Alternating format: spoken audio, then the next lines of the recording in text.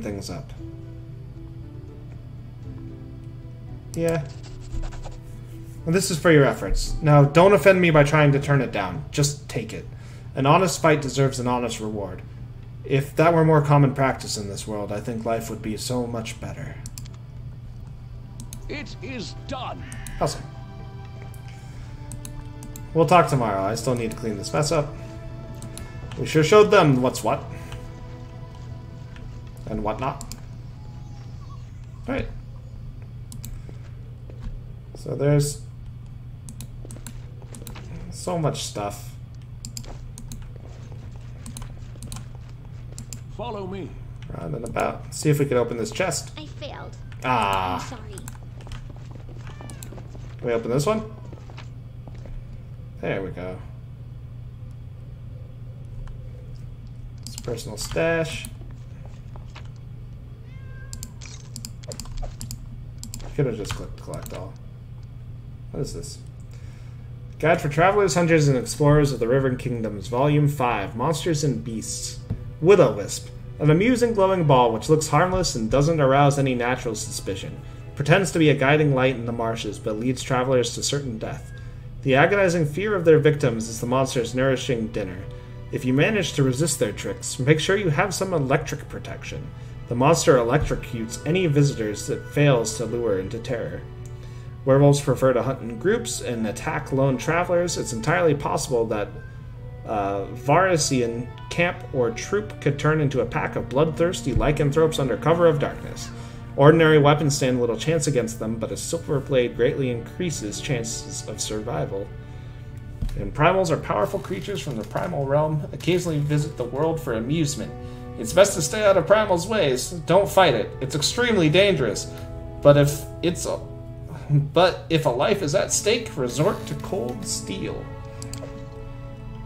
It's good to know, because we will get wrecked by a will-o-wisp later in the game. That is where I eventually stopped playing the game. I was also playing it like right when it came out, so it's still really buggy. But I heard this game is a lot better now. You wake up from a nasty dream that tortured you almost all night long. In it, you saw a wall of unnaturally thick fog that surrounded you, slowly moving closer and closer. A quick look out the window, and you find that the fog was not a figment of your imagination, not a dream. And then, Hear me. Please hear me. Can you hear me? Please. It seems that only you can see or hear the nymph. Who are you? Who am I? Just a tear shed by the land itself. The bitter sigh of nature. I am a nymph, the guardian of this area. The defeated guardian. Call me the guardian of the bloom, if you wish. Mm, What do you want from me? Aid, salvation. We have a common enemy, and long have I searched for someone who can defeat him. The one you call the Stag Lord. As a storm strikes ruthlessly with gusts and lightning, the Stag Lord wreaks havoc with the swords of his servants. And not just in the world of people. The land also suffers from the evil he brings. Forests and my flowers suffocate in this fog. Soon even I will vanish as the last ray of light fades at dusk. The Stag Lord is responsible for the fog? Yes, it hides his fortress as well as his dark deeds. But while responsible, he did not create this affliction. It is the work of a powerful druid who has betrayed even himself. I know not why the powers did not leave this renegade, but even I was unable to defeat him. How can I help you? This fog, it enshrouds, entangles, suffocates. If only I could learn how it was created. But my powers wane. I have barely the strength to call out to you. All I know for certain is that somewhere in this forest lies an old house, and it echoes with the remnants of a strange power. The Stag Lord and his druid were there. The fog hides this place from me, but I can point you to the bandits' camp near the Thornford. Make them tell you where this place is. Go there and listen to the echo. Catch the whispers. Search for anything that can tell you how the fog was created. Once the fog clears, nature will breathe again, and you will be able to easily find your way to the fortress of our mutual enemy. Then we'll just do this one. I'm glad my adventure begins with such a beautiful sight. Beauty is so tender. Can so easily be crushed under the blows of cruel fate. But you can save it from being undone. All right, I understand. Farewell. I don't believe in fate, stranger. But our meeting seems more than a coincidence. The nymph's whisper fades as she disappears. What do you think? Trustworthy or untrustworthy? Okay. So we could sit around and talk to all of our companions now. And like they'll all have different stories to tell you. Um but I think for the the sake of brevity, I'd rather just like continue playing the game. Cause there's like there's a lot yeah. Yeah, the nymph super trustworthy. Definitely nothing weird there. Um for the sake of just like getting to the meat of the game and some of the combat, like I'd Stopping now. I'd rather skip talking to absolutely everyone. There's so many cool stories here though. So if you ever want to hear any of the stories of any of these characters, just let me know. I'll have plenty of opportunities to do so. But for now, I just like I really want to play the game and get to the combat. And... Greetings. You certainly ruffed those villains, ruffled those villains' feathers. Well, anyway, new day, new troubles. Have you seen the fog? Never seen anything like it before. Don't know why my voice is like this now. The road to Restov looks something like spilled milk. It just hung in the air. I couldn't see anything through that soup, not even with the torch. Feels like witchcraft to me. I bet the Stag Lord's involved somehow. Rumors say he deals with all kinds of bad magic. Uh, just show me your wares, Oleg. Nothing too good for such a good person. All right, Oleg. I forgot to look to see if uh, Harrim could use a breastplate. I think he can. I think I already have a composite longbow. But I'll see if I can hand it to Amiri.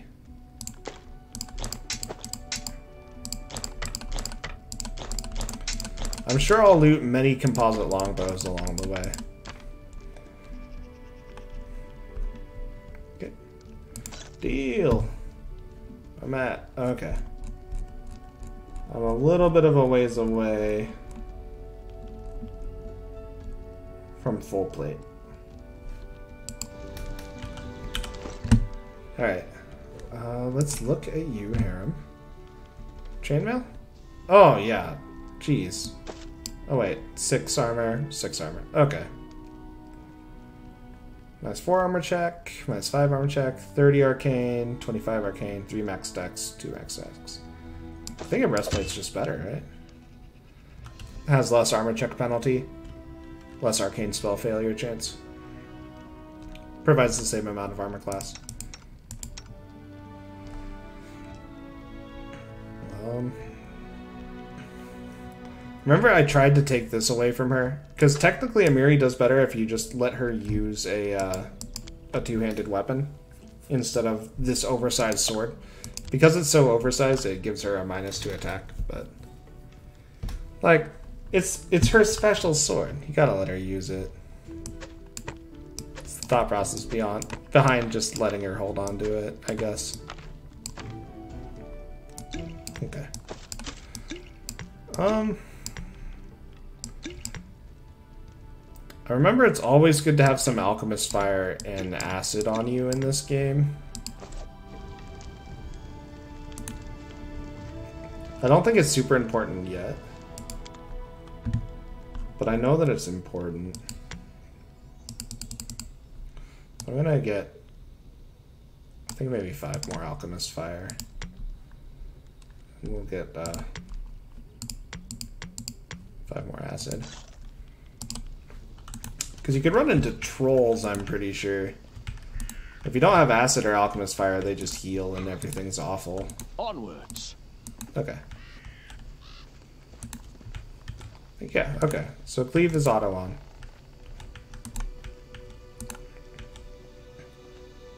So we got a couple things. We gotta go find out what Tartuccio's up to. I guess I'll collect it all. Uh, I should. Okay. And after finding out what Tartuccio's up to, we have to go deal with the Stag Lord and the Fog. And so right now, our goal is to like go over here to Thornford, and I think that's the one thing we have. So start heading down the map this way. We could choose to split directions. I think I'm gonna keep going south. Random encounter. Yes, good for swarms too. Thank you. I remembered there was something else that really needed them, and swarms are really nasty. A jittery old man in squalid clothing shuffles up to you. His gray hair is unkempt, and he continually clenches and unclenches his wrinkled, freckled hands. When he stops and looks up at you, his eyes widen and he tugs at his beard. Remus. Strange weather. Invisible fog creeping out of the woods. Soars beyond the sky, obscures the sun and moon. Strange. The old man shakes his head, his eyes shifting about seemingly at random. I don't like this old man. Looks like the kind who cast the evil eye. Who are you? The old man freezes for a moment. Remus, but that won't help with the fog. What are you doing here? I do nothing. Breathe, walk, observe. The fog looks visible enough to me. I see more than ever. I never seen so much before. The old man wipes his hand across his face and sighs wearily. But someone must look, and no one else can. Visible fog. Does that mean you could find your way through it? The fog is wrong. It hinders your legs, not your sight. I wish not to try. Uh, I should probably go. The old man stares at you intently. You hasten. You should. Your rival wastes no time. He races, but in another direction. He searches for power. He'll find it. My rival? Do you mean Tartuccio? The old man tugs at his beard again. He's not tall, but he wants to climb high. Besides him are those who could stand against him, and might yet still. What power is he searching for? Someone else's, old but forever young. That which was taken from another. That which gave joy, and now gives death. Uh, can you just tell me where he is now? He's in an old tomb, south of the trading post. You actually said something that made sense. And the old man shrugs. When I see clearly, I speak clearly. And why is it that and why is it you see that so clearly? The old man's face is blank. I slept there last night. I noticed him as I left. How do you know we're rivals? I don't know. I see. You could choose where to set your eyes, usually. But you could choose what they see. All the more reason not to linger. Farewell.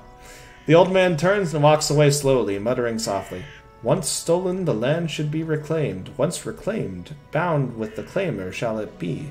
Bound, merged, joined by unbreakable ties, claiming the land, claiming its pain, claiming its death. Alright. So now we have a new place to go, which is the ancient tomb.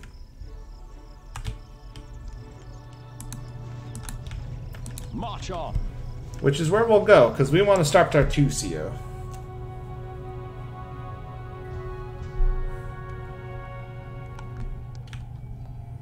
So that's over here.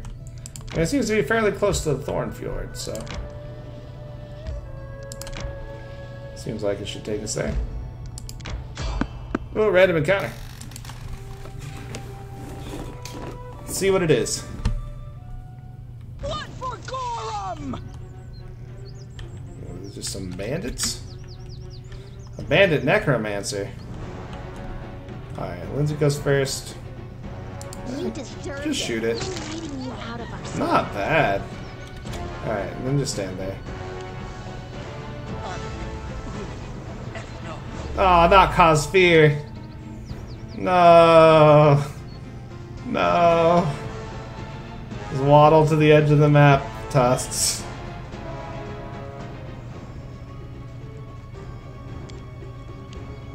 Alright. Oh, ah, we missed. I forgot to rage. That's fine.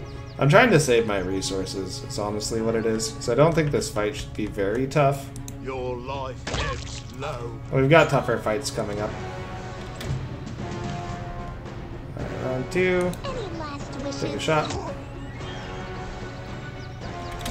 That's good. Ooh, we saved. Ah, did Tusk save? Ah, I can't. Can't it like that. We will full move all the way back over here. Got it. That's turn. Uh, we probably don't need to rage. Nah, didn't need to rage. Okay. Not bad. You okay there, Tusks? Still got a. It is done. There we go.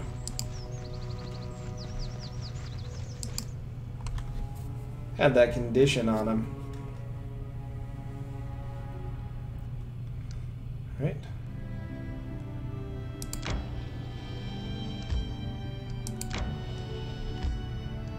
Alright. Let's enter the ancient tomb.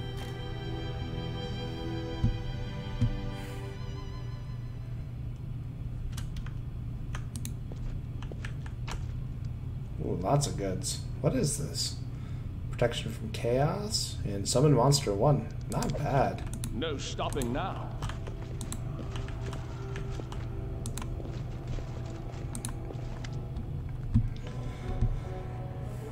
A gnome in a gaudy purple garb seizes your attention. Of course, the scoundrel Tartuccio, who you know from your time in Restov. The vile gnome is standing on a small hill, expressing his discontent in every way he can muster. Let me guess, you're still dawdling.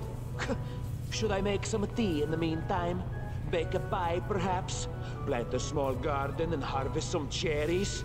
Perhaps you'd be more comfortable wearing fool's caps and colored trousers. Then at least I'd be able to sell tickets. Come one, come all!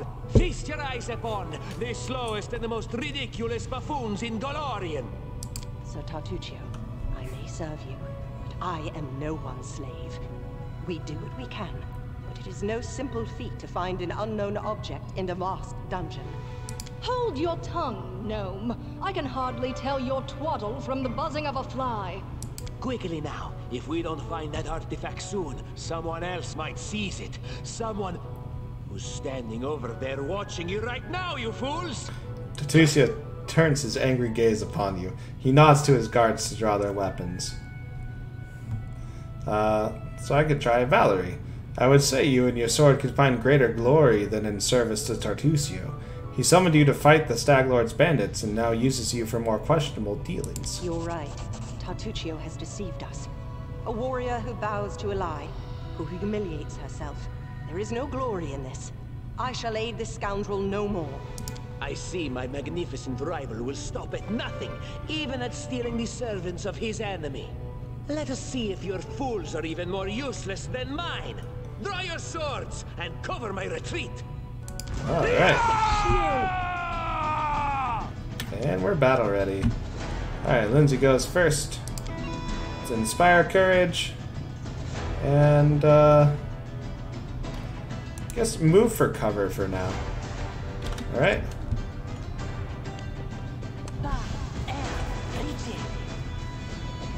Oh. Enlarged. Let's get it. Got it. Enlarged no more. Alright, Amiri, is there anything in range of your charge? Oh, there's that mercenary. Yeah, let's go get it. Oh, I forgot the rage! Nah. Oh, yes. Amiri got crit.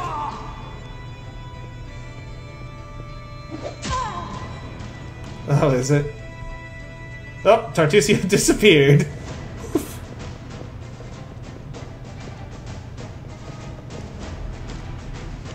Oh, this one came all the way up to Harrim. What does this do? Touch of Chaos. Melee touch attack. For the next round, anytime the target rolls a d20, they must roll twice. Oh, it gives them disadvantage, essentially. Yeah. Oh, that provokes an attack of opportunity. Sometimes I forget things. Ah, start laughing. Perfect. Excellent.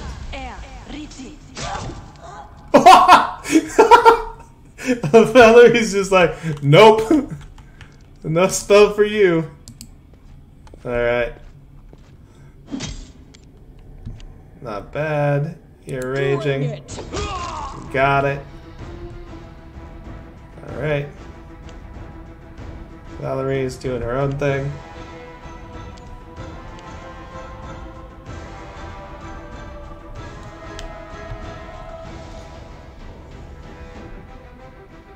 Like the turn-based mod, this one doesn't seem great at the cutscene aspect of fights.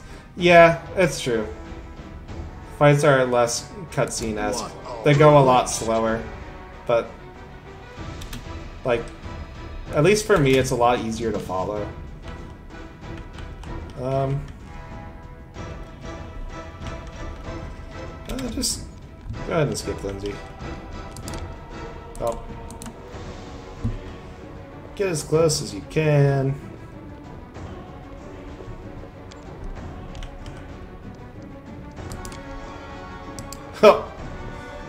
Get him! Got him. Alright. Follow me. Yeah.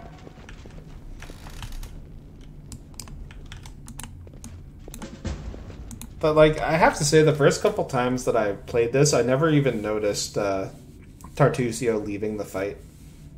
Like, I imagined he just ran off. I didn't notice that he teleported out or anything like that. At least for me, it helps me like see everything that happens, even if it is a little less cinematic. I'm also someone who's a fan of like a lot of the micro control. The image carved in the stone is almost completely worn away over the age. One can still distinguish a sickle sword and a skull with a single eye socket covered with a coin.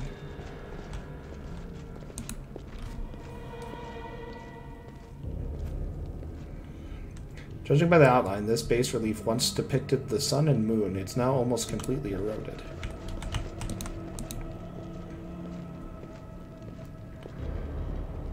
On closer inspection, one could discern the outline of a head with a single eye. Onwards.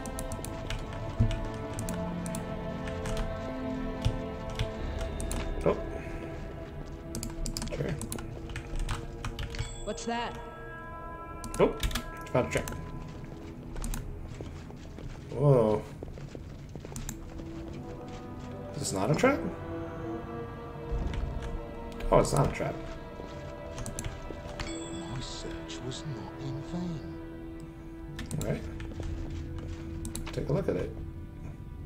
Ancient Cyclops coin.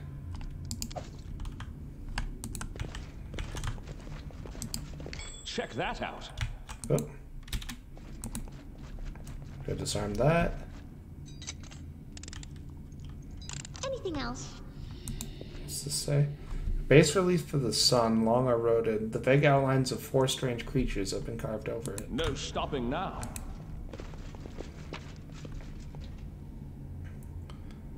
Boom, boom, boom.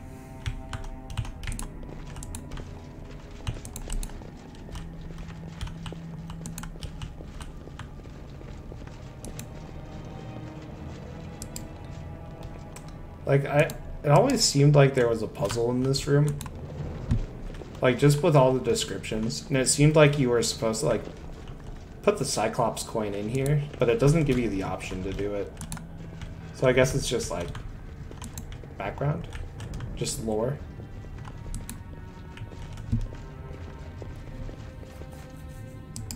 Or maybe I'm missing something. I'm listening. Oh, I missed one.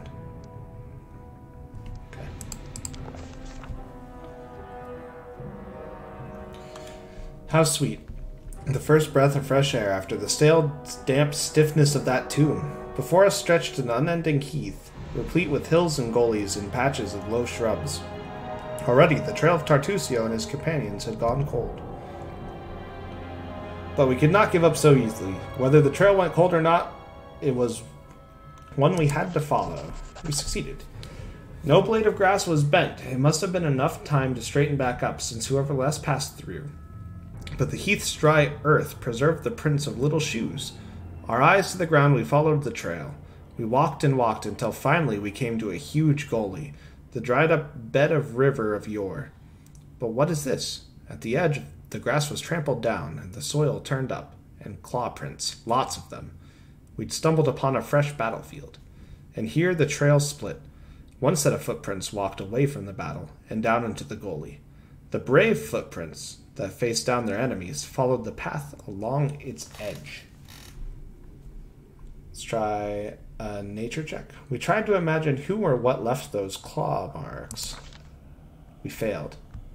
Unfortunately, we could not determine who attacked Tartuccio and his companions. However, we could discern that there were plenty of attackers, and they were rather small. Uh, detect magic. We tried to find any traces of magic in the surroundings. We discovered traces of a spell, apparently from the Illusion School of Magic, near where the Lonely Trail descended into the gully. So we carefully studied the trail that led down to the gully. We examined the path that snaked along the gully. We stood a while and thought, then followed the single set of footprints down. I think we carefully studied. To our surprise, we discovered that the little shoe prints turned into little clawed footprints on their way to the gully, as if someone from Tartuccio's band was wearing shoes, and either took them off or grew claws, then jumped into the gully to avoid battle. Alright. We followed the single set of footprints down into the gully. The way down was steep, and it took some time to reach the bottom. Walking on the loose soil was difficult, but the clawed footsteps were easy to spot. The bottom of the gully went downhill, deeper and deeper.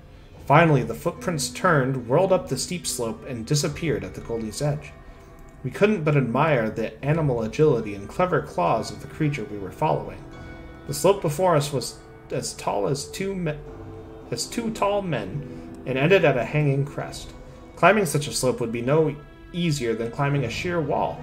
However, a long, steady-looking root stuck out from stuck out of the ground from the top. Make a mobility check. There was one brave hero among us who decided to try his luck and climb the root. We're to choose Linzi because she has 10 mobility. So she needs to roll a 1. After tugging on the root, Linzi took a deep breath, grabbed it with both hands, and began the difficult ascent. Pushing with her feet against the slope and grabbing the root with both hands, she climbed higher and higher. Only her heavy breathing and the faint creaking of the root broke the deadly silence. Suddenly, dust poured down from the top of the slope, and the root began to slide from the ground. Keeping her wits, Linzi shifted her weight to her legs and froze. After a tense moment, she continued her journey and soon reached the top of the slope. After catching her breath, she lay on the ground and offered her hand to help the next of us up. After climbing out of the gully one by one, we easily found the clawed footprints again and moved forward. The air grew tense. We sensed that we were approaching our target, and our inten- intuition proved correct. All right.